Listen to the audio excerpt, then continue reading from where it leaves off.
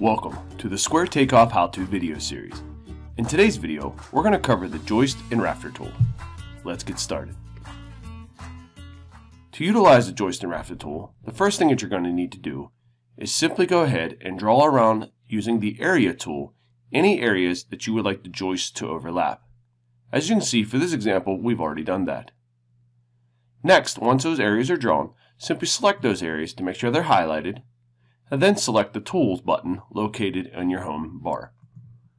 Once we select that, we're going to select Add Joist, and then a pop-up menu will appear. Within this menu, you can enter all the information you need, first starting with the system type. You can either select a floor system or the roof system.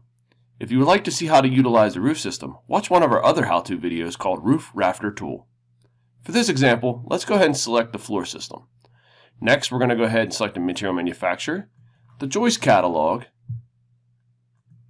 We're going to go ahead and select the joist size, which we're going to use a 2x12 floor joist. We'll then select our material calculation, length, and we can either do none to the nearest foot or to the nearest 2 foot. For this example, we're going to use the nearest 2 foot because that is the length that our material manufacturer will ship to us. Next, we'll select the material direction. Let's go ahead and select horizontal. We do not need a pitch, so let's go ahead and move on to the minimum material length. For here, we're going to select 8.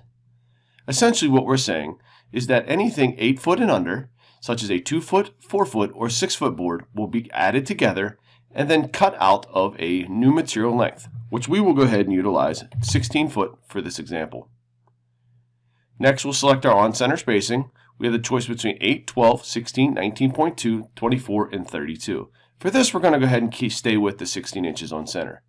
Let's go ahead and include our rim board. Let's go with a 2x12 rim board. Lastly, let's go ahead and let's select a color. We can then enter a price per linear foot if we'd like. We can also enter in a location such as the first floor. We can also enter in a phase of construction.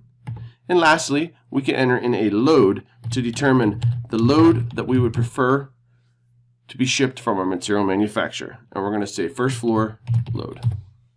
Lastly, we can go ahead and adjust our transparency up if we would like. And then we can go ahead and hit start. But before we hit start, let's go ahead and let's save this so we don't have to enter this information the next time around. To do that, we simply hit the Save button located, from, located to the right of the template section. If we select the Save button, we can come in here and simply type in 2x12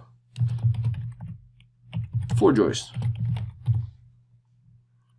We can then go ahead and hit save. Now, once we hit start, it will go ahead and draw our rim board followed by our floor joist. And there we go. Now, we go ahead and continue on to the next section. To do that, all we need to do is simply select the area over here to the left. Once again, highlighting the area, select the Tools button, Add Joist. And now, from our template section, simply select 2x12 floor joist. We can see that this is here. We can go ahead and adjust the color to something different if we'd like. And then go ahead and hit start. From here, once again, it's going to fill this information in for us. And there we go. It's just that easy. Now, we can adjust our rim board and add any double joist very, very easily. To do that, if we needed to add, for example, a double joist located here, we can simply do that by selecting the joist selecting the start button and allowing for us to go ahead and draw it out just as you would normally do with a linear. It will go ahead and add those joists for you. If we needed to delete or add any rim board, for example, if we needed to delete this rim board here to the left because it travels down through, we can go ahead and select it, hit the delete key, and then simply draw it back in. And there we go. We can once again do that for the other section over here.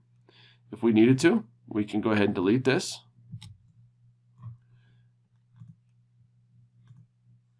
And draw this in correctly here. Lastly, we can go ahead and adjust our last piece of rim board, which is this item here, by simply deleting it and going ahead and drawing it back out. And there we go. And that's how you utilize the joist and rafter tool. Thank you for watching today's video.